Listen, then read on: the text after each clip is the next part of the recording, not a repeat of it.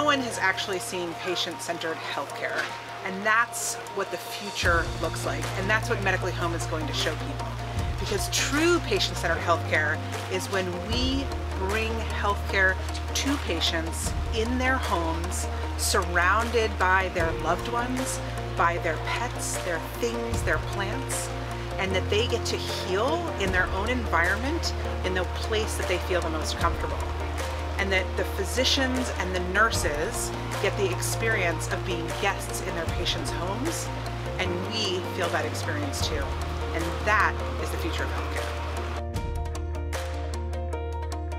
Patient-centered healthcare and true patient-centered healthcare is a game changer because to date we have asked people to come into our buildings and into our facilities and made it inconvenient to receive care.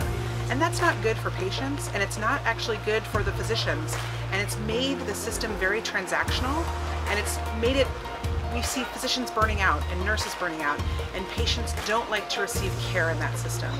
And when we flip that script, when we make that shift, we return to the reason that we all got into medicine in the first place, which is to have that relationship, that caring, and caring for patients. That's what healthcare is all about.